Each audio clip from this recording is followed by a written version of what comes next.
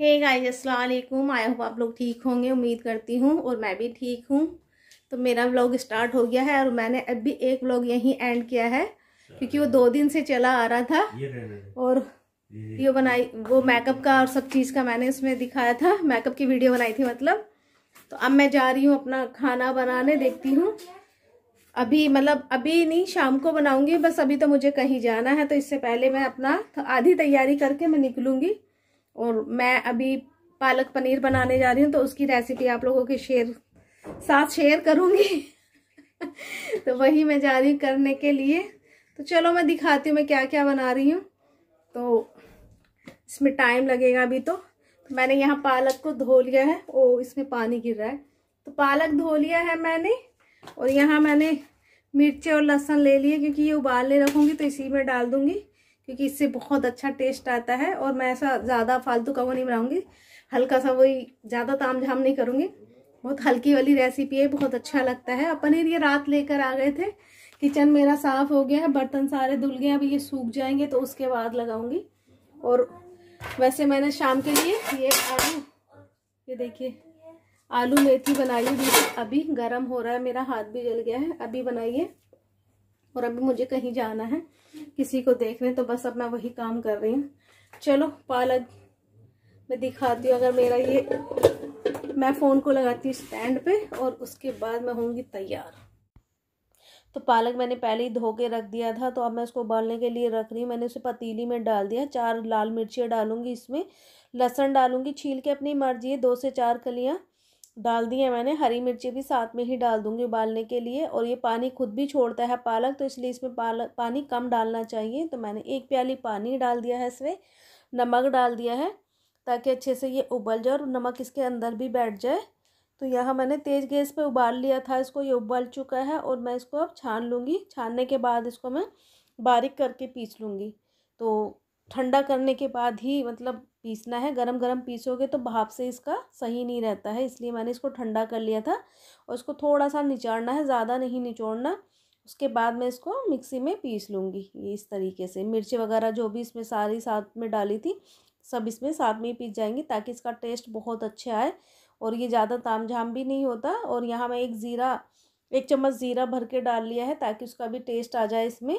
तो ये पीस चुका है, ज़्यादा बारीक नहीं पीसा है, ज़्यादा मोटा नहीं पीसा है, मीडियम तरीके के साथ और तेल डाल दिया है मेरा, गर्म हो गया है, ज़ीरा डाल दिया है। तो यहाँ मैं उसमें हल्दी थोड़ा सा पानी गीला करके उसको मैंने तब डाला है हल्दी को, सूखी हल्दी नहीं डाली है मैंने और भुन गई है हल्दी मेरी। और उसी में मैंने अपना जो पालक पीसा था, वो डाल दिया है, ये देखिए किस तरीके से। और इसकी बहुत अच्छी खुशबू आ रही है और इसमें ज़्यादा मेहनत भी नहीं लगती बहुत आसानी से बन जाता है।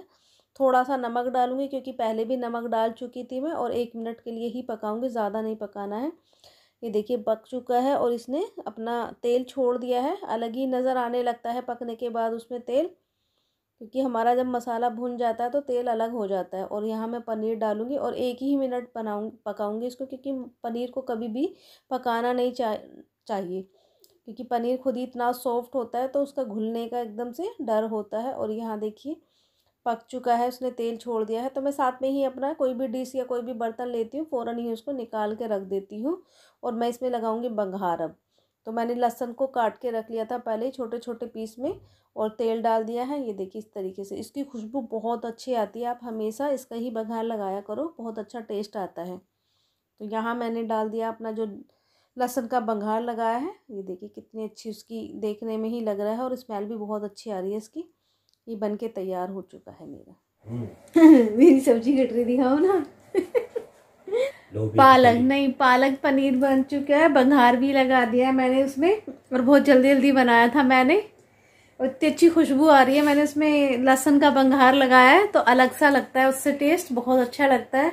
और यहाँ सब्ज़ी काट रहे हैं हम लोग तो क्या है ये बीन्स की फली है तो ये कट चुकी है।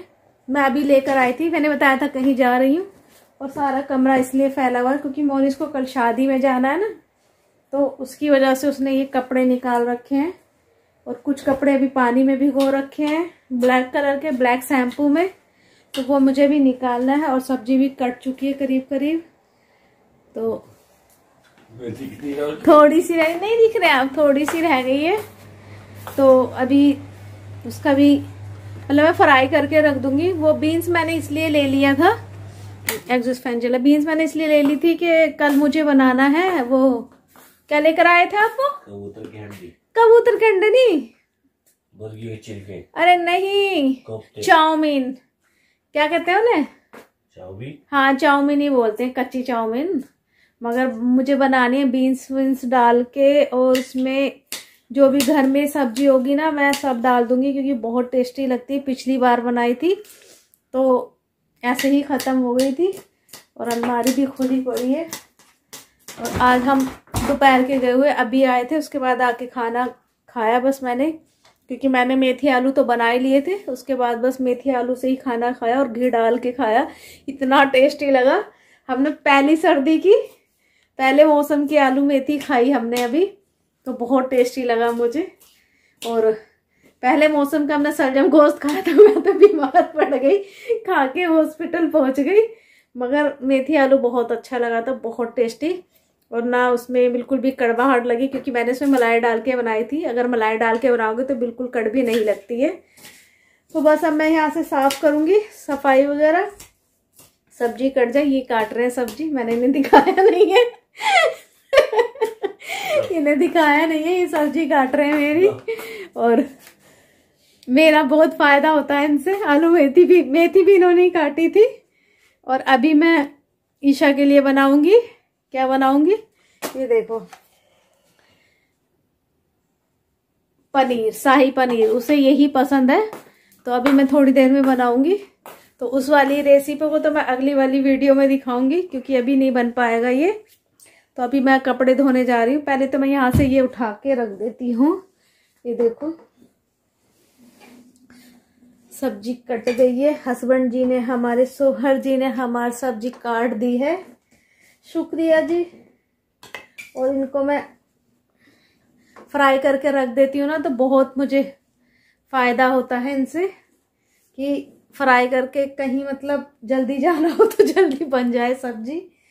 तो जल्दी क्या, कल ही बनानी है। कल ही बनानी है। कल भाभी आएँगी फिर से। आज आई थी तो खाना खाकर नहीं गई वो बिल्कुल भी। तो बस अब मैं ये बना लूँगी। बना के लूँगी फ्राई करूँगी। चलो, ये उठा लेती हूँ, उसके बाद मिलती हूँ।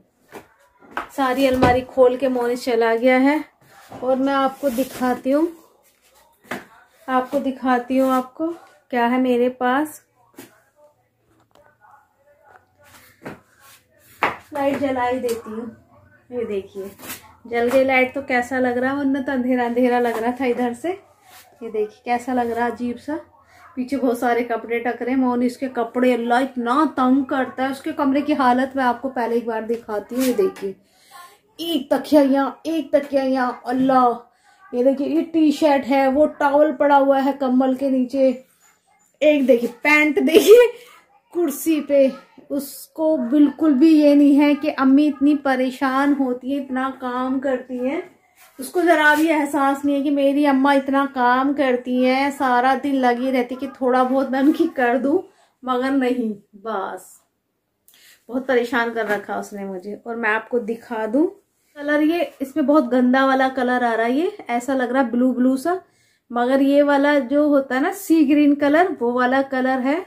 और ये इतना प्यारा कलर है, इसमें पता नहीं क्यों इतना गंदा कलर लग रहा है, या तो लाइटों की वजह से लग रहा है। और ये साड़ी है साड़ी का मैं दिखा दूँ, ये पल्ला है इसका, ये देखिए।